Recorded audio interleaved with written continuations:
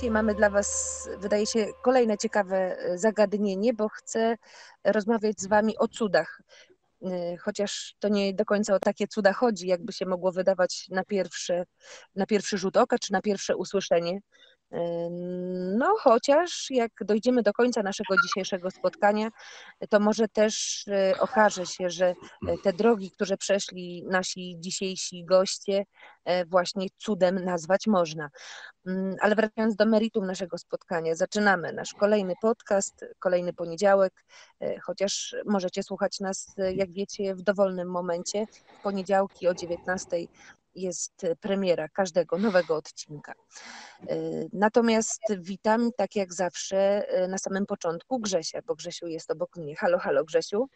Witam bardzo serdecznie, jestem, witam naszych gości i, i słuchaczy. Gości za moment przywitamy, a ja e, pozwólcie wprowadzę jeszcze kilkoma zdaniami nasz dzisiejszy temat, bo powiedziałam, że będziemy rozmawiać o cudach. No bo tak jest przecież, że y, o chorobie alkoholowej często mówi się, że jest to choroba cud. Y, skąd ten cud? No właśnie, to pierwsze literki choroba ciała, y, choroba umysłu i choroba duszy. Co to znaczy? Grzesiu, powiesz więcej? No, tak jak, jak powiedziałaś, właśnie choroba ciała, duszy i umysłu i uwidacznia się najczęściej dopiero wtedy, kiedy, kiedy właśnie jest, y, że tak powiem, fizycznie y, człowiek już niesprawny, kiedy widzimy y, często człowieka, który no, wygląda jak wygląda, jest nieporadny, tak, często gdzieś tam bezdomny i, i stojący, proszący o jakieś tam jałmużnę, no to wtedy tak przynajmniej społecznie u nas jest przyjęte, że o, to, to, to już jest różnie nazywany tam mener, alkoholik czy, czy inaczej. Natomiast no, to nie jest akurat taki symptom, który o tej chorobie mówi, no, bo często właśnie gdzieś tam zaczyna się to mm, w umyśle, w duszy, czyli w duszy nie może w sensie do końca religijnym, ale też mm, w sensie tym y, uczuciowo-emocjonalnym, gdzie, gdzie choroba uczuć i, i tych emocji objawia się często właśnie jakąś silną agresją, czy czy jakimiś innymi deficytami, o których pewnie dowiemy się tutaj od naszych gości, którzy też powiedzą, jak, jak to przeżywają. Właśnie jest to taka mm, choroba, która y, atakuje wszystkie sfery człowieka i o tym postaramy się dzisiaj, dzisiaj powiedzieć. I może tyle na początek. No właśnie, my będziemy słuchać bardziej niż mówić, chociaż Grzesiu pewnie doda coś jeszcze od siebie w trakcie naszego dzisiejszego spotkania, a głos oddajemy dziś Piotrowi. Witamy Cię Piotrze. Witam. Jest z nami także Kamil. Cześć Kamil, witamy Ciebie. Witam, dzień dobry. No to w takim razie e, startujemy z naszym dzisiejszym e, spotkaniem, z naszym dzisiejszym tematem. Alkoholizm, choroba cud. Zaczynamy nasze spotkania e, zazwyczaj prosząc Was o Wasze doświadczenia właśnie w chorobie alkoholowej. Ale w ujęciu tego tematu, o którym chcemy dzisiaj mówić. Piotrze, może Ty byś zaczął. Opowiesz nam o sobie? Okej, okay, no moja przygoda z alkoholem, przygoda, jeśli tak to można nazwać, myślę, że była standardowa, tak jak u innych osób, tak, wieku 12-13 lat gdzieś tam poznają alkohol, poznałem smak alkoholu. Na początku, na początku czułem się bardziej dorosły, ja, jeśli napiłem się alkoholu, byłem to jak inni starsi, tak, jak, taki fa, fajniejszy się czułem. A wiadomo, wiadomo, że mm, zauważyłem od razu, że, że jestem bardziej rozmowny, bardziej, bardziej taki swobodniejszy, wśród e, grupy znajomych czy, czy, czy wśród grupy obcych. To było na pewno ten magnes, który mnie przyciągnął do alkoholu, aczkolwiek na początku tam do, do, do ja wiem, do 18 roku życia to było takie standardowe picie, jak to można nazwać standardowe picie dla dziecka, bo teraz uważam, że byłem dzieckiem wtedy, tak, w wieku 12-13 lat zacząłem pić weekendowo już. W grupie na znajomych, tak, piliśmy na podwórku. No i to już było weekendowe picie, a więc to było takie. No jest taka niestety kultura picia chyba w Polsce. I tak, tak my, dzieci, to odbieraliśmy, że to jest normalne i że się weekendowo pije. Już wtedy, tak, w wieku 12 lat czy 13. No tak, już wtedy opijałem jakieś sukcesy, czyli zakończenie szkoły, jak było, to było opijanie. Porażek może jeszcze wtedy nie, no ale no to było takie już, no było to nie, no, nienormalne, tak, picie. Tym bardziej jak przyszły wakacje, to zacząłem pić już tam trzy razy w tygodniu nawet, jak był alkohol, bo wiadomo, pieniędzy nie było zawsze, rodzice jakoś nie byli chętni do dawania tych pieniędzy, gdyż sami nie mieli ich zbyt dużo. Ale, ale gdzieś jakoś tak, e, tak to wyglądało. No i tylko 18 lat poszedłem do pracy, e, uczyłem się, poszedłem do pracy i w pracy poznałem picie po pracy jako nagroda. Była dla mnie taką nagrodą. Wtedy zacząłem pić już codziennie. Po roku, dwóch latach mniej więcej może się tak otrząsnąłem, znaczy otrząsnąłem się. Widziałem, że coś się tak dzieje, tak. Po około roku, dwóch latach stwierdziłem, że nie no, nie mogę codziennie, tak, nie chcę tego, bo, bo, bo nie będzie dobrze. I zacząłem jakieś tam z, zastępować sobie alkohol e, jakimiś napojami zwykłymi, tak, że, że może po prostu po pracy napiję się, nie wiem, tymbarka jakiegoś, tak, oczywiście, żeby nie było to krypta reklama jakaś. No i tak udawało mi się może na 5-6 dni, ale w końcu przychodził jakiś moment, że znów, e, znów e, ten alkohol wygrywał ze mną. Ta chęć napicia się wygrywała. Aczkolwiek to było, udawało mi się niby, ale, ale codziennie, codziennie to była jakaś walka z samą sobą, tak? Nie, nie napiję się dzisiaj, nie chcę, po co? A, a z drugiej strony jakaś myśl, a może się napij, będzie fajnie, będzie przyjemnie i w ogóle. To już wtedy widziałem, że coś jest nie tak. Czy ty, Piotrze, ym, tak patrząc z perspektywy już lat, bo trzeźwiejesz od lat dziewięciu, y, czy patrząc z perspektywy pracy, jaką wykonałeś i patrząc właśnie na te twoje picie y, w latach wcześniejszych, jesteś w stanie wskazać ten moment, kiedy sobie uświadomiłeś, że to, co robisz, to już jest choroba, a nie tylko Mhm. takie picie, sięganie po alkohol od przypadku do przypadku, czy od weekendu do weekendu, jak opowiadałeś? Właśnie w tym momencie, wtedy, wtedy jak e, próbowałem kontrolować to, tak, jak mówiłem przed chwilą, to wtedy już zacząłem uświadamiać sobie, że to jest choroba. Ja nie wiem, ja nie miałem z tym jakiegoś większego problemu, jak e, na terapii czy gdzieś w innych grupach niektórzy ludzie ciężko im uświadomić sobie, że, że są chorzy na alkoholizm. Ja to zaakceptowałem dość szybko, e, że jestem chory na alkoholizm wiedziałem, że jestem alkoholikiem. Mm, Tylko, tylko od razu z automatu uważałem się, że z tego nie da się wyjść, że ja już będę alkoholikiem, będę chlał, tak? Mówię chlał, bo tak mnie nauczyli na terapii, nie mówię piłem, e, tylko chlałem, bo, bo pić to można, nie wiem, jedno, dwa piwa, ja piłem do upadłego w sumie.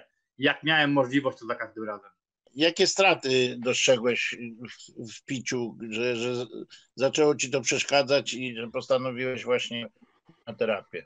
Ja wiem, ja widziałem, że mam problem ogółem z uzależnieniami, bo je, ja połączyłem gdzieś tam, znaczy może nie połączyłem, ale zacząłem gdzieś tam grać e, na automatach e, na jednorękim bandycie, tak? Widziałem, że na trzeźwo nie chciałem grać, a wystarczyło, że wypiłem jedno piwo, fantazja się włączała i, i brałem pieniądze i leciałem na automaty. Później pożyczałem pieniądze, jak przegrałem na tych automatach i, i, i tu jakieś dwie rzeczy tak mnie denerwowały. Później em, denerwowało mnie to także to, że ja po tygodniu już nie miałem wypłaty, bo, bo, bo albo ją przegrałem, albo przegrałem i, i, i, i tak to wyglądało. Ale pod koniec mojego picia, wieku tam nie tych 27 lat, zastanawiałem się nad sobą i sobie uświadomiłem, że moim jedynym celem w życiu, 27-latka, tak, moim jedynym celem w życiu było to, żeby uzbierać, czy tam zorganizować pieniądze na wieczór i się nachlać.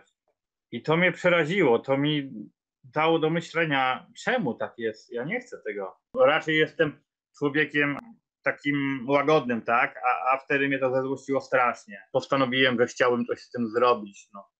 I to nie było też łatwe, bo, bo ja, tak jak mówiłem, tak, ja, ja uważałem, że ja już nic, że nie da się, że cud musi się właśnie jakiś zdarzyć, żebym przestał pić, że się nie da, że jestem alkoholikiem i alkoholik już pije do końca.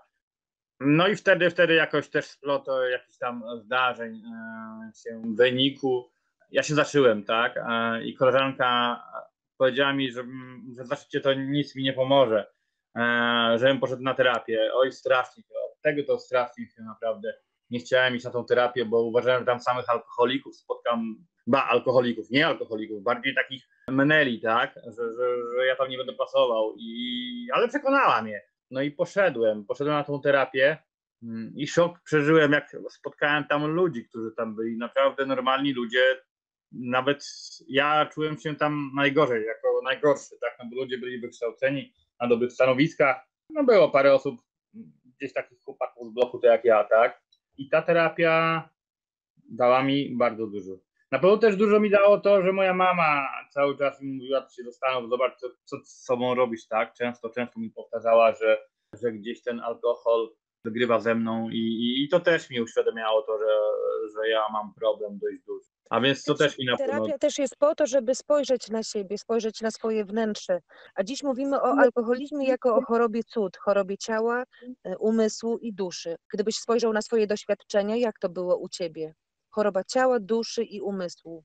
Myślę, że to wszystkiego, tak? Umysłu, ciała, ciała może tak nie, no bo ciało to, to, to jest tylko, ale przede wszystkim umysł, e, bo pochłonie cię tak, że, że, że nic dla ciebie nie znaczy, że tylko i wyłącznie alkohol. Zrobisz wszystko, żeby napić się tego alkoholu i nieważne, co się w twoim życiu dzieje, alkohol jest najważniejszy w tym momencie. Tak u ciebie było. Tak, tak, dokładnie. To, bo to mówię oczywiście o moich doświadczeniach, tak? Ja tak to odczuwałem. Ja robiłem wszystko pod alkohol, począwszy od pracy, skończywszy na jakichś podróżach, tak? Przede wszystkim wybierałem. Ja musiałem mieć alkohol, tak? To ja mi się nie chciało nigdzie jechać, nic mi się nie chciało robić. Ta nagroda musiała być zawsze, nie mam. A dusza? Czy twoja dusza też zachorowała? A ja w tamtym momencie chyba, ja dokładnie pijąc tak młodo, ja nie byłem e, świadomy w rzeczywistości, nie rozwijałem się do końca, bo zaczynając pić, gdzieś tam zatrzymałem swój rozwój emocjonalny, tak, i w rzeczywistości to wtedy dusza nie istniała e, w tym momencie, gdy piłem. A więc, a więc w ogóle gdzieś tam się odciąłem całkiem od, od, od duszy, że tak powiem. Albo alkohol ją zagłuszył. Dlaczego mówisz, że ciało nie? Czy nie miałeś takich objawów typu trzęsących się rąk, potliwości, jakichś takich zmęczenia, bo mięśniobóle i, i czy tam, no wiadomo jak wyglądają kace, to, to, to nie było to? Nie atakowało ciała? No tak, nie pomyślałem o tej strony rzeczywistości, bardziej myślałem o tym, że, że, że obsesja, obsesja picia była tak niesamowita, ale to wszystko, wszystko było, e, wpływało z e, umysłu, tak, z psychiki, no ale tak, tak, reszta to wiadomo, e, kace, kace były najgorsze. Trzęsienie rąk, tak, oczywiście było tak jak u wszystkich, e, no kat, trzęsienie rąk, no i do tego jeszcze wiadomo problemy zdrowotne, jakich się nabawiłem poprzez picie, tak, przez jakieś e, niepotrzebne mm, bójki, nie bójki, których nawet czasem nie pamiętałem. Parę razy miałem tak, że gdzieś tam stałem w domu, bolały mnie żebra. Najwyraźniej ktoś mnie przykopał, a nie wiedziałem co, gdzie, jak e, i nagle, nagle wtedy się włączał od razu automatycznie kat moralny i to chyba to był mm, najgorszy kat, który mógł, mógł być, czyli ten moralny, który wchodził, e, który, który w głowie był. To usłyszeliśmy właśnie historię Piotra. E, Posłuchajmy e, teraz e, Kamila. Kamil, choroba ciała, duszy i umysłu. Jak to u ciebie było? E, U mnie przygoda z alkoholem zaczęła się w momencie, kiedy miałem 18 lat. Do 18 roku życia alkohol mnie w ogóle nie interesował. Ja wówczas y, interesował, interesowałem się sportem, wyjściami. Moja, moje wyjścia ze znajomymi polegały głównie na tym, że spotkaliśmy się, graliśmy w koszykówkę, w piłkę nożną. To były moje zainteresowania.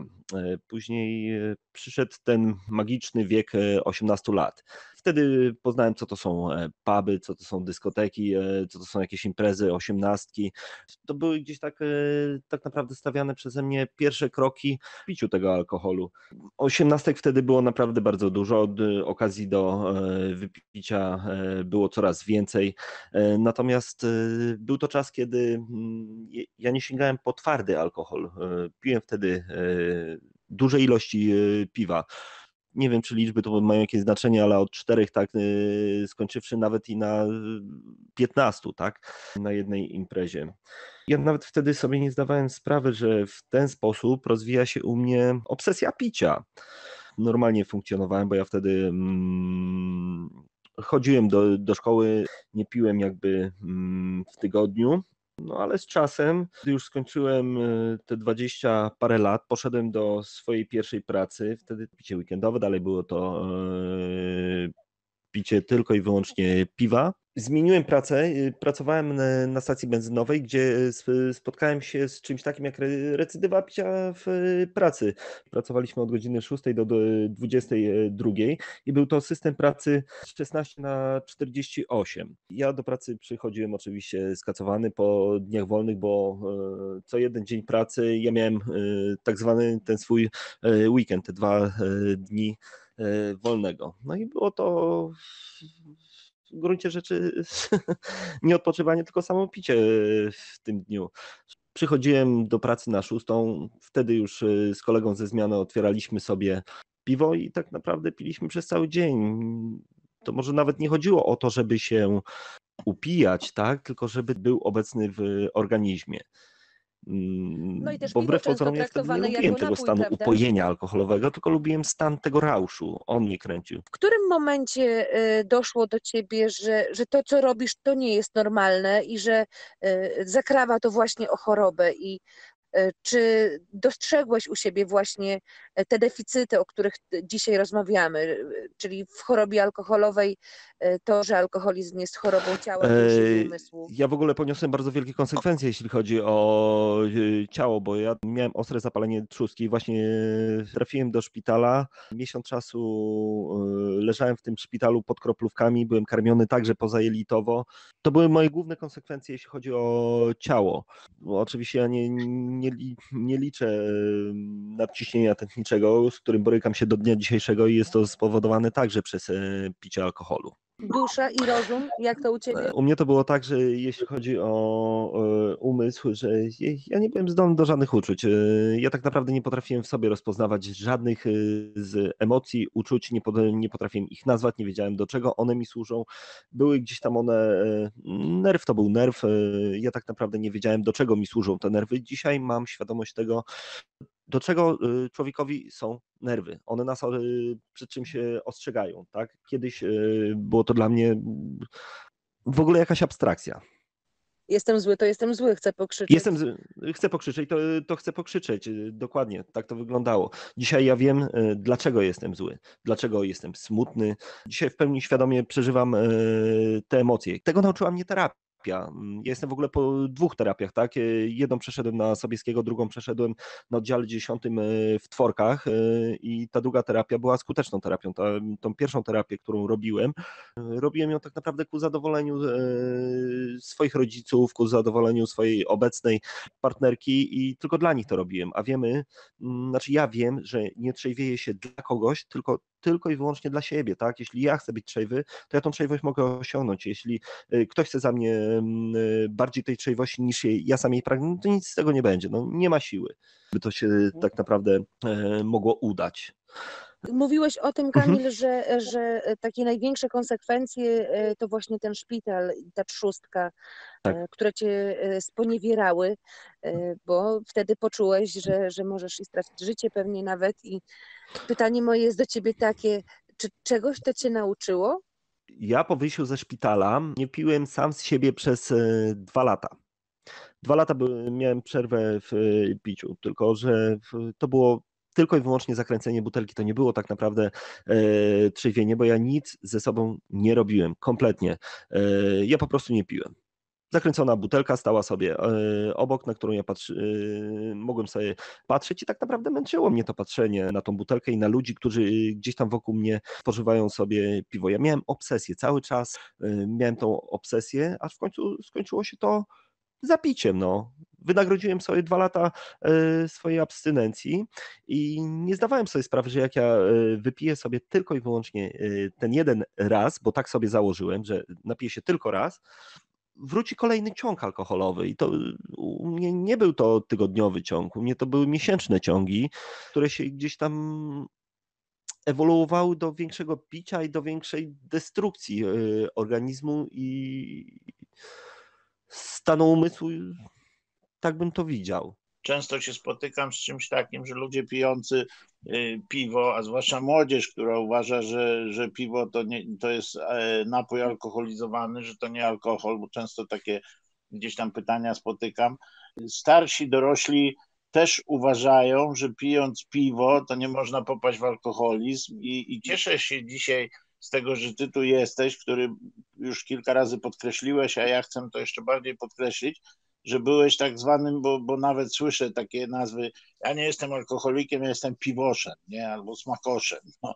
I, i ten, ten mit trzeba obalić i właśnie ta twoja wypowiedź, jakbyś jeszcze raz mógł powiedzieć, jak wyglądało te twoje picie, bo mówiłeś o od kilku do kilkunastu piw i tak dalej i, i może powiesz coś jeszcze więcej właśnie na ten temat.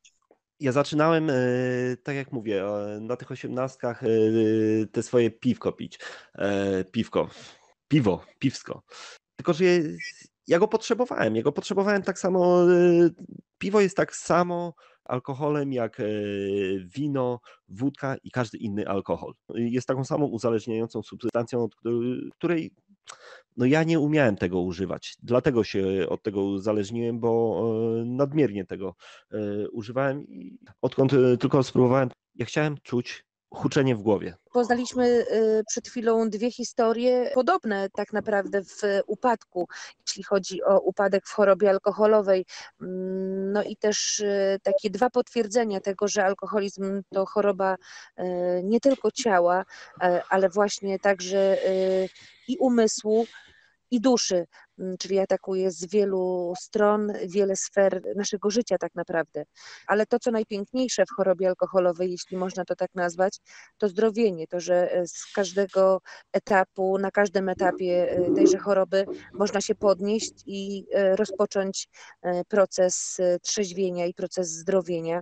Mm, tu u Piotra i u Kamila słyszeliśmy, że były to terapie, czy tylko, no właśnie o tym teraz porozmawiajmy chwilę, o waszym zdrowieniu. Piotrze, do ciebie wracam. E, mówiłeś, że e, zacząłeś od namowy koleżanki, trafiłeś w ten sposób na terapię. A co ci w ogóle dało zdrowienie? Jak ty oceniasz swoje zdrowienie dziś? Czy warto było podjąć tą drogę? Mogę przytoczyć tu fajną historię, znaczy fajną historię, nie wiem, czy fajną wy ocenicie. Jechałem jakiś czas temu samochodem, a w radiu było, było pytanie, jaka była najważniejsza decyzja w życiu? Wtedy sobie pomyślałem, od razu mi przyszło do głowy, rzucenie alkoholu to była moja najważniejsza decyzja w życiu, aż mi się łza wtedy pojawiła, tak? Wzruszyłem się strasznie, bo tak, to była moja najważniejsza decyzja w życiu, rzucenie alkoholu. To mi, to mi otworzyło, otworzyło niemalże na nowo moje życie, tak? Jestem całkiem, wydaje mi się, że jestem całkiem innym człowiekiem. Zacząłem znów tak jakby dorastać, tak? Bo gdzieś ten swoje dorastanie moje dorastanie zatrzymało się w wieku tam, nie wiem, 15 lat i, i w rzeczywistości nic tomu nie robiłem. Dopiero teraz gdzieś tam po dobrych paru latach e, zacząłem studia, które mi się podobają, zauważyłem, że mam swoje ambicje, mam dużą ambicję, żeby, żeby się kształcić, uczyć, coś z sobą robić, że zaczynam mieć cel, tak, cele zaczęły się pojawiać w moim życiu, które chcę osiągać. Gdzieś tam pewne tyle osiągam, tak, pewne pewne rzeczy zdobywam i, i to jest bardzo, bardzo satysfakcjonujące dla mnie. W tym momencie mogę. E, tak, mam jakieś poczucie żalu do, do siebie samego, aczkolwiek akceptuję, że było, tego nie zmienię, tak? E, ale że, że, gdzieś tam te 10 lat straciłem, czy, czy, czy 15 lat, no. Ale, ale czuję, czuję Czuję niesamowity, niesamowitą radość z tego, że, że podjąłem tą decyzję i przestałem chlać. Mówiłeś, Piotrze, że miałeś takie poczucie, e, że jak jesteś alkoholikiem, to znaczy, że będziesz tym alkoholikiem już do końca swych dni. Mm, tym alkoholikiem w, w negatywnym tego słowa znaczeniu oczywiście. E, I jako alkoholik właśnie e, taki chlejący umrzesz, że nie da się z tego podnieść. Jak dzisiaj na to patrzysz? Mm, dzisiaj na to patrzę, że można wszystko, tak?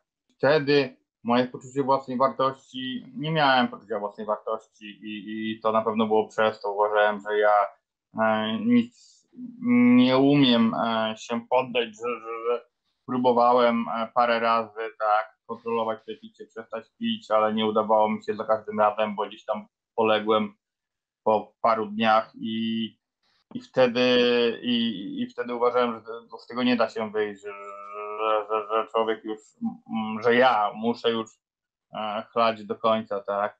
E, teraz na to patrzę, że, że można, tak, że nagle życie z tego koszmaru, bo dla mnie to było koszmarem, ostatnia końcówka mojego chlania, tak, dzień w dzień nachlany, no w sumie to ja piłem, niektórzy mają, jak mówią, czy tam że wpadają w to ja miałem cuk w sumie przez 12 tam lat co najmniej.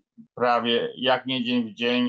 Większość to było dzień w dzień. Czasem jak tata mi powiedział, żebym sobie wziął kalendarz, popatrzył ile w roku miałem e, trzeźwy, gdzie nie piłem, to uświadomiłem sobie, że może tam, nie wiem, policzyłbym na, pal na palcach dwóch rąk, e, ile miałem trzeźwych. I tak można. Poka no, pokazuje to, że, że ja ja nie piję tak, tyle lat i to pokazuje, że można z tego wyjść, że, że i nagle twoje życie zaczyna stawać się normalne, możesz coś osiągnąć, możesz coś zdobyć, możesz być całkiem innym człowiekiem, mm, zmienić siebie, zmienić swoje życie, być szczęśliwym w tym życiu, tak?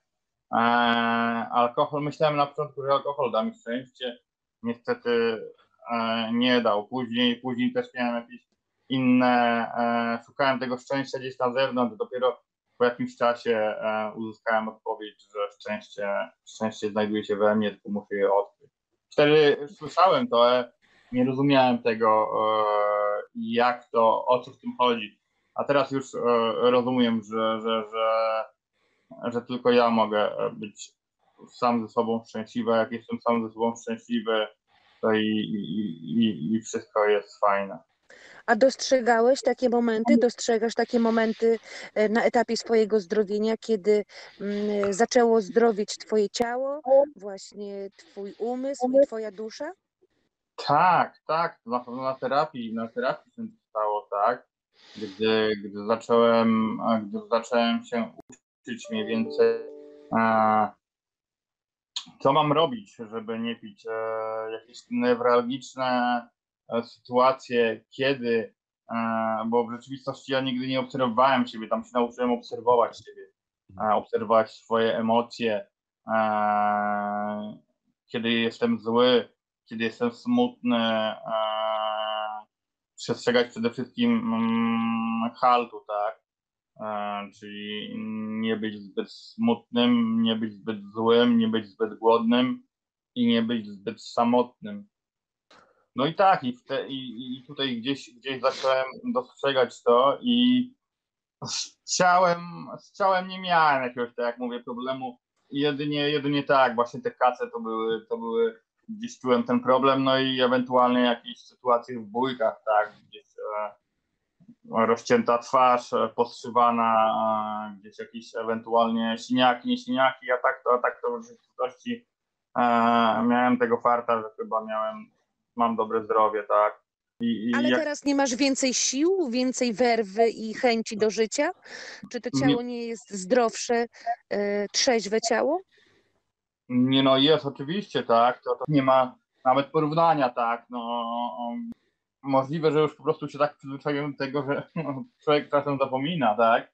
I dlatego, dlatego też nie pamiętam o pewnych rzeczach. Ale tak, no, przede wszystkim tak, no, zacząłem jakiś, jakiegoś dłuższego czasu ćwiczę, coś z sobą robię tak dla swojej, dla swojego nie, nie, tylko ciała, ale i też dla zdrowia psychicznego, bo jednak e, ćwiczenia i treningi to też dają dużo, dużo satysfakcji i, i, i, i poczucia przyjemności. A gdybyś tak policzył lata, które piłeś, to ile ich było? Lata, które piłem? Mm, no to na pewno z 10 lat to piłem codziennie. No i do tego dodatkowo jakieś 4-5 lat, gdzie, gdzie zaczynałem to picie, tak, no to piłem weekendowo mniej więcej.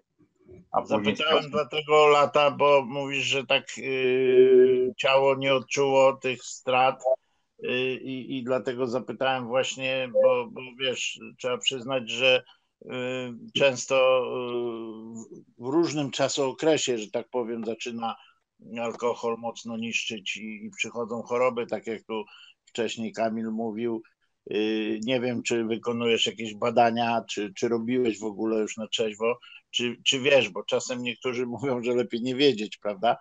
Ale y, no, udowodnione naukowo to, to jest, że jeśli się spożywało alkohol ileś czasu, to na pewno jakieś tam skutki wewnętrzne są. Tylko wiemy, że dzisiaj no, wątroba może się sama regenerować, że medycyna poszła dużo do przodu, że wielu schorzeniom, które się pojawiają w wyniku picia alkoholu, można zapobiec. Dlatego też warto trzeźwe życie zaczynać y, od wizyty u lekarza i od badania swojego organizmu. Ale cenne jest to, co mówisz, że teraz dbasz też właśnie o tą sferę fizyczną i psychiczną, czyli przez sport, przez ruch, przez taki rozwój, tak? Tak, tak, tak. Teraz wiadomo, była, jest pandemia, a więc gdzieś tam a, niedługo siłownie otwierają, e, ale, ale ja w domu ćwiczę, gdyż no, mam też e, problem, a już po gdzieś tam pojawiła przepuchlina brzuszna i, i nie, bardzo, nie bardzo mogę ćwiczyć, dlatego tak delikatnie w domu ćwiczę czekam na zabieg, ale tak, ja byłem, byłem od razu, znaczy od razu, no, ciężko mi stwierdzić dokładnie kiedy, ale poszedłem, e, bo nawet na terapii mówili, żeby zbadać się, zobaczyć stan swojego ciała i jak wyglądają organy ogółem. Byłem, robiłem badania, gdyż no, martwi się człowiek, tak, samo siebie, trzeba się martwić, nikt się o mnie nie będzie martwił. Byłem, robiłem badania i tak, wszystko, wszystko, wszystko tam w porządku było. Wiadomo, że na początku miałem wątrobę trochę powiększoną, ale z czasem, z czasem wróciło do, do normy to. I, i w rzeczywistości, w rzeczywistości jest wszystko dobrze, mam, mam jedynie jakieś tam, ale to, to wyszło też na terapii, bo, bo, bo też e, mam nerwice, tak, e, i zaburzenia kompulsywno-obsesyjne, ale, ale to też e, cały czas jestem pod kontrolą lekarza i, i, i w sumie no dzięki temu, że też nie piję, tak, że, że, że dbam o siebie, że kiedyś jak było, jak poszedłem, nie wiem, raz do lekarza, później miałem iść, to mi się nie chciało, jak chlałem, tak, no bo też wiem, po co ja będę chodził.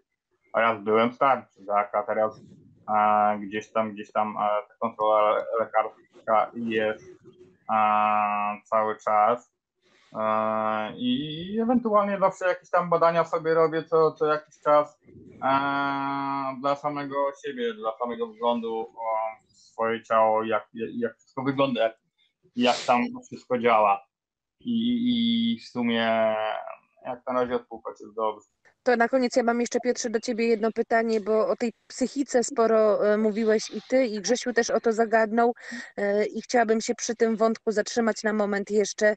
E, powiedz, jak Ty to widzisz, zdrowa psychika Twoja dziś właśnie poprzez ten proces trzeźwienia i zdrowienia, jak, ci, jak to wpływa na Twoją codzienność? No, wpływa na pewno, na pewno jakoś no, pozytywniej, tak? ja kiedyś nic nie widziałem. Będąc pijany, pijąc, ja. No w ogóle, jesteś odcięty, tak? Dla mnie to, to, to w ogóle było diametralna zmiana teraz, a kiedyś, tak? A teraz, teraz dostrzegam dużo rzeczy. Chcę, chcę się uczyć, chcę poznawać pewne rzeczy. Jestem ciekawy, bardzo ciekawy świata, tak? A dlatego też wybrałem jakiś tam swój kierunek studiów, który mi się spodobał i kontynuuję go, gdyż to, no, mnie to ciekawi, tak? Kiedyś, kiedyś w ogóle do wszystkiego podchodziłem strasznie olewczo, a nic mnie nie interesowało, aby mieć na butelkę też piwo, bo ja głównie też piwo piłem, tak? Dopiero później gdzieś, gdzieś już jak byłem e, mocniej znietrzeźwiony, to, to, to duże e, mocniejsze alkohole, nieważne było co, aby, aby, aby się sponiewierać, tak się kiedyś mówiło. Właśnie jak piłem jeszcze tak, inne postrzeganie świata, postrzeganie otoczenia, no, no diametralnie się zmieni. Bez strachu Bo... i lęku przed podejmowaniem wyzwań? Dokładnie, dokładnie. W ogóle jest chęć do podejmowania jakichkolwiek wyzwań i masz tą świadomość, e, co robisz i, i, co możesz, tak, w rzeczywistości. Nie podejmujesz świadomie w rzeczywistości pewnych decyzji, nawet jak jesteś niby trzeźwy, ale ty nie jesteś trzeźwy, bo, bo, bo, bo ten alkohol gdzieś tam wiesz, że wieczorem się napijesz, tak, ale to w ogóle twoja świadomość jest, jest no, alkoholowa, a więc, a więc w ogóle jesteś jakby omotany, jesteś w ogóle takim człowiekiem.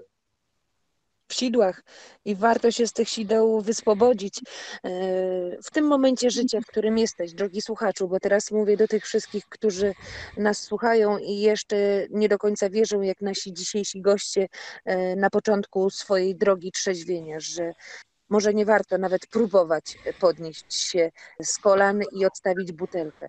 No Piotr przekonał mnie osobiście bardzo. Mam nadzieję, że e, tych wszystkich, którzy nas słuchają także, że warto wstać i iść dalej. Kamilu, a ty przekonasz także?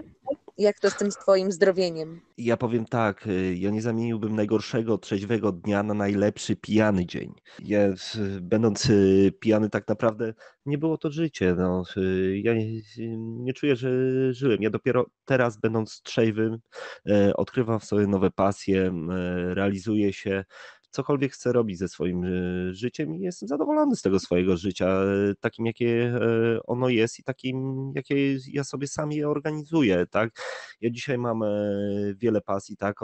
Ostatnią moją pasją zaczęło być, zaczęła być fotografia, co sobie ściśle wiąże z moim zamiłowaniem do natury, tak. Ja uwielbiam przebywać w naturze, mieszkam na wsi, lubię ogromnie spacerować e, sobie po lesie, po jakichś tam e, rzeczkach, a przy tym e, zatrzymywać te chwile w kadrze, tak? Zacząłem dbać tak naprawdę i o swoje ciało, bo zacząłem biegać sobie, jeździć na rowerze, pijąc. Mi to było obojętne tak naprawdę. Czy ja w ogóle czysty byłem, czy jak wyglądałem. Nie interesowało mnie kompletnie uczestniczenie w życiu. Dla mnie najważniejszym owego czasu było tylko i wyłącznie to, jak skombinować sobie kolejną flaszkę wódki. To był chyba najgorszy okres e, mojego życia i on trwał dość długo, bo ja naprawdę y, kawał czasu swojego życia e, zmarniłem pijąc. Samo zdrowienie nie jest prostym procesem, prawda? To nie jest tak hop siup, używając takiego być może młodzieżowego y, określenia, e, że z dnia na dzień człowiek od razu zdrowieje. E, nie da się wyzdrowieć z dnia na dzień. Ten proces e, często gęsto trwa przez e, wiele, wiele lat. Ja także uważam, że mój proces trzeźwienia trwa dalej. On jeszcze nie jest zakończony. On cały czas gdzieś tam idzie swoim jakimś torem, jakim, jakimś swoim tokiem ja swoje początki trzeźwienia zacząłem od y, detoksu, e, następnie jedna terapia, e, w międzyczasie były jeszcze meetingi. W dniu dzisiejszym tak naprawdę e, nie uczęszczam na te meetingi. Raz, że ze względu na pandemię, dwa, że obrałem zupełnie inną, inną drogę swojego trzeźwienia, tak? Do tego, żeby trzeźwieć, ja potrzebuję e, mieć pasję. Do tego wynajduję sobie swoje pasje. A czy widzisz już owoce swojego zdrowienia? Zdecydowanie widzę swoje owoce e, tego trzeźwienia. Ja już mam jasny umysł, ja dostrzegam e, wokół siebie piękno. Ja wiem, czym są dzisiaj emocje, uczucia, co one oznaczają, o czym one mi mówią. To jest w ogóle inny inny stan świadomości niż ten, który był w momencie, kiedy y, piłem gdzie tego stanu świadomości y, nie było w ogóle, był żadny. Mówiłeś, mówiłeś o złości, y, mówiąc tak. wcześniej o swoich uczuciach, a inne emocje, inne uczucia, które zobaczyłeś już e... na trzeźwo? Inne emocje, które zauważyłem na trzeźwo? No to to jest I, szereg. I tak zrozumiałeś je, i zrozumiałeś je przede wszystkim. Każdą z emocji, czy y, od miłości, e, polubienie, czy nielubienie, zazdrość, w pewnym momencie zawiść. I to tak w codziennym ja, życiu? Ja dostrzegam. Oczywiście, codziennie doświadczamy y, milionów emocji. Teraz rozmawiając y, nawet z Tobą, Kingo, tych emocji jest naprawdę bardzo wiele, tak? Ty jesteś takim typem samotnika właśnie, bo Oj, bardzo. Dla mnie jest to przerażające, wiesz, że tak, jeśli same pasje mają cię utrzymać przy tym wszystkim, to mhm. y, wiesz, patrzę z doświadczenia wspólnot innych y, osób i swoich, że jednak potrzeba mieć w życiu kogoś, z kim można o czymś porozmawiać i jeśli nie jest to jakaś grupa, to niech to będzie jakaś osoba, czy jakiś y, powiernik, sponsor, czy, czy przyjaciel. Czy tak już postanowiłeś, że tylko pasje będą cię prowadziły w życiu, czy jeszcze myślisz, że, że zmieni się coś w twoim życiu w tym względzie? No, Nie no, Grzegorzu, y, ja tutaj powiedziałem, o, wspomniałem o swoich pasjach. To nie jest tak, że ja żyję tylko i wyłącznie tymi pasjami, bo ja mam krąg y, znajomych, mam krąg y, przyjaciół, z którymi rozmawiam. E, mam swoją przyjaciółkę, powierniczkę, z którą tak naprawdę gdzieś tam kupę czasu rozmawiamy ze sobą.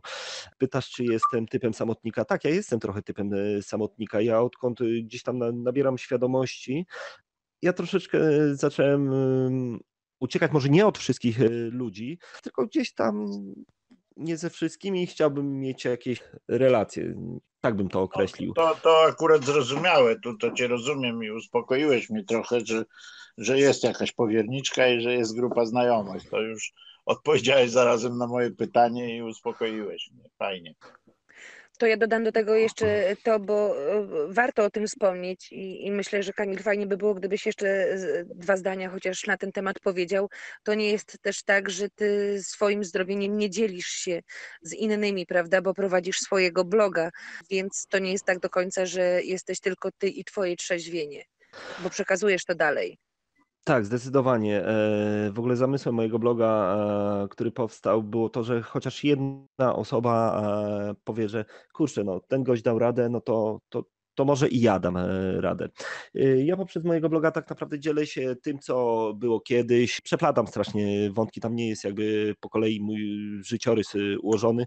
Jak jest teraz, czym się teraz zajmuję, piszę o swoich pasjach, piszę o, troszkę też o swoich y, emocjach. Oczywiście nie obnażam się na tym blogu e, całości, no bo też chciałbym mieć e, jakąś swoją prywatność. Natomiast e, działa on dla mnie jak troszeczkę, troszeczkę bym powiedział, że jak taki meeting, tak? Jak mm, ten blog jest dla mnie czymś takim, jakbym mm, rozmawiał ze swoim przyjacielem, tak? Wywalam tam niektóre swoje emocje, podkreślam, że nie wszystkie. Jest on dla mnie bardzo przydatny w procesie mojego trzeźwienia, tak bym to um, ujął, tak bym to określił. No i warto tam sięgnąć, warto tam zajrzeć, być może ktoś, Zapraszam. kto nas słucha dziś, yy, znajdzie tam też światełko y, w tunelu dla siebie i podejmie te kroki i to będzie już yy, druga z okazji, by odstawić kieliszek. Raz to, że nas słucha dziś, a że poczyta co u Ciebie, to powiedz, Kamil, gdzie tego szukać? E, ja swojego bloga prowadzę tylko i wyłącznie na Facebooku i nazywa się on Kiedy powiem sobie stop. Gorąco zapraszam, jeśli masz ochotę poczytać. To my też zapraszamy w imieniu Kamila, a na koniec Dziękuję. jeszcze panowie bym chciała was prosić e, o taki przekaz, e, bo tak kończą się zazwyczaj nasze podcasty. Przekaz do wszystkich, którzy nas słuchają. Taki dobitne potwierdzenie tego, że warto trzeźwieć już usłyszeliśmy. Ale dlaczego trzeźwieć? Co powiecie naszym słuchaczom? Piotrze. Żeby zmienić, zmienić swoje życie. Każdy myśli, że trzeźwienie, że zawsze zakręcenie tej butelki, wyjście z tego marazmu, tak to można nazwać, że to już jest niemalże jakiś koniec życia, tak, i że poniekąd jest to jakiś koniec, ale w rzeczywistości jest to też jakiś piękny początek. E, ale każdy uważa, że to jest jakiś, już będę smutasem do końca życia i w ogóle przecież jak nie będę pił. Nie, całkiem, całkiem tak nie jest. Świat się zaczyna otwierać, gdy, gdy pić zaczynamy widzieć, że możemy wszystko i radość bynajmniej z moich, e, z moich ust nie schodzi, tak. E, jestem radosny bardzo, myślę, że nawet bardziej niż e, jak piłem, bo jak piłem, to byłem radosny tylko pod wpływem alkoholu, a gdy byłem skacowany, to już w ogóle nie byłem radosny, tylko raczej złość we, we mnie była jakaś taka, a no nie, no w ogóle 100% jest o wiele lepiej zaprzestać pić, jak, jak się zastanawiasz nad tym, czy rzucić, e, czy nie rzucić, czy zaprzestać chociaż na chwilę, to zaprzestań, zobaczysz, zobaczysz, że nagle wyjdzie niemalże jakby z kanału na powierzchnię pięknej ziemi z pięknym słońcem. Tylko nie rób tego za karę, tylko dla własnej świadomości i tej chęci poprawy e, tej sytuacji, w której się dzisiaj znajduje, prawda? Bo nic na siłę nie wyjdzie. Dokładnie, dokładnie nic na siłę, a przede wszystkim to jak już tutaj e, mój współrozmówca stwierdził, e, przede wszystkim przejwieje się tylko i wyłącznie dla siebie, bo, bo dla kogoś się nie da, tak? Przede wszystkim trzeba tego chcieć. Z reguły, z reguły to jest tak, że czasem trzeba osiągnąć te swoje dno, żeby, żeby się od niego odbić. I tak w rzeczywistości chyba było ze mną. Ja osiągnąłem te, te dno, z którego którego się odbiłem. Osiągnąłem te, te dno, gdzie doszedłem do ściany i, i zobaczyłem, że, że już nic mi nie pozostało oprócz wyjścia z tego, z tego nałogu, bo, bo zostało tylko bycie, bycie nagle e, jakimś, nie wiem, jeszcze parę lat bym pił, rodzice by mnie z domu wyrzucili i zostałbym bezdomnym, bezdomnym takim e, no, alkoholikiem bezdomnym. Tak? perspektywa nieprzyjemna, chociaż wielu tak też kończy i z takich sytuacji też się podnosi, więc y, wystarczy tylko chcieć. Coraz jeszcze za Tobą powtórzę. Kamil, co Ty powiesz naszym słuchaczom? Dlaczego warto trzeźwieć?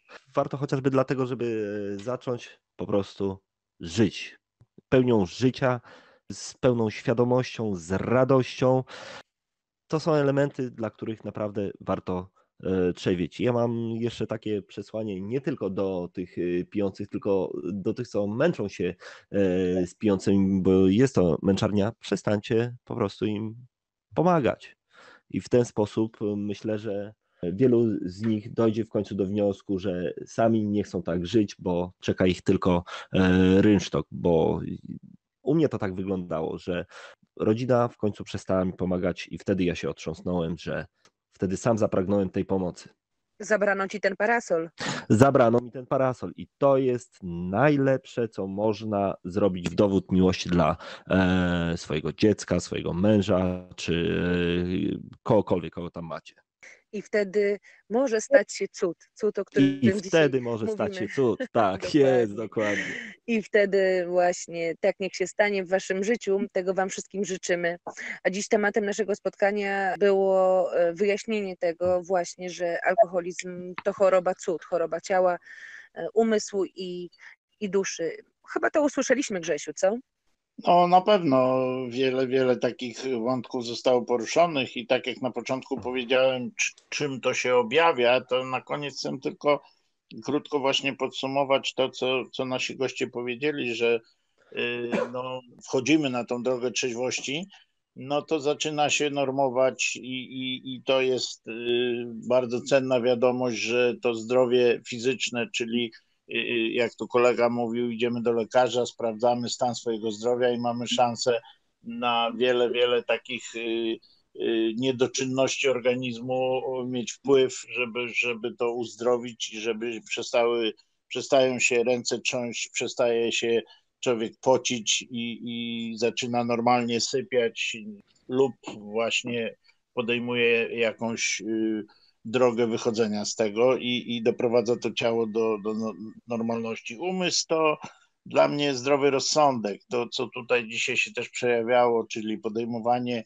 e, konkretnych decyzji, nie miotanie się już w życiu, wychodzenie na, na prostą i decyzyjność. I to są chyba najistotniejsze rzeczy właśnie, że ten umysł y, pozwala, pozwala funkcjonować, y, odzyskiwać kontrolę nad swoim życiem, którą niewątpliwie w pijanym życiu ludzie y, tracą.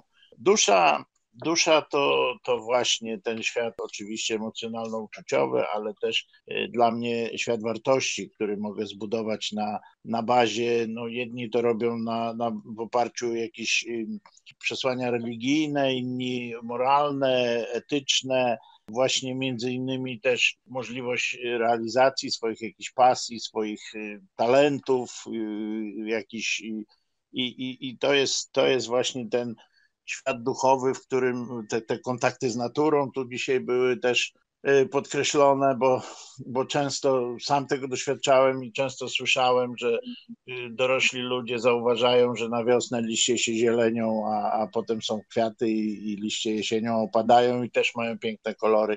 A więc to jest właśnie to, co, co wynika ze zdrowienia i obyśmy y, wszyscy w ten sposób starali się żyć. Dziękuję. Ale pięknie powiedziałeś.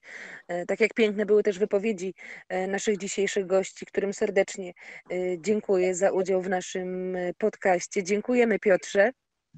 Dziękuję. Dziękujemy Kamil. Dziękuję Kingo, dziękuję Grzegorzu i dziękuję Państwu. Dziękuję Wam Piotrze i Kamilu. I Kinga Tobie również dziękuję za współpracę. Dzięki bardzo. E, A Państwu życzymy zdrówka, Państwu i Wam wszystkim, którzy nas słuchacie, e, zdrówka i tych takich pozytywnych emocji, bo te pozytywne emocje mogą Was nastroić do tego, e, by szybciej rozpocząć proces trzeźwienia albo dobrze czuć się w swoim procesie trzeźwienia, bo jak też słyszeliśmy dzisiaj, Bywa tak, i to dosyć często, że, że to trzeźwienie nie cieszy. Dlaczego nie cieszy? Właśnie dlatego, że nie trzeźwiejemy właściwie, e, że nie podejmujemy tych właściwych kroków, nie podejmujemy tych decyzji odpowiednich, tylko trzeźwiejemy dla kogoś, na siłę, a na siłę nic dobrego nie osiągniemy, niczego dobrego nie wywalczymy. Czyli nie można trzeźwieć, wejdę ci w słowo, nie można trzeźwieć na smutno. Trzeźwość ma być kolorowa i wesoła. I radosna, jak mówił dziś Piotr e, w swoich wypowiedziach. E, My podpowiadamy, jak to robić, my i nasi goście, których możecie usłyszeć u nas co tydzień, co poniedziałek, ale e, to, co też mówiłam na początku naszego dzisiejszego spotkania, w każdym innym dniu tygodnia także. Wystarczy tylko odpalić nasz podcast, e, który znajdziecie między innymi na YouTubie. E, Taki cykl, odnaleźć siebie. Jeśli odnaleźliście siebie, no to dajcie nam znać koniecznie, a jeśli nie, to posłuchajcie nas za tydzień. Dziś już pozostaje nam tylko powiedzieć Wam do usłyszenia.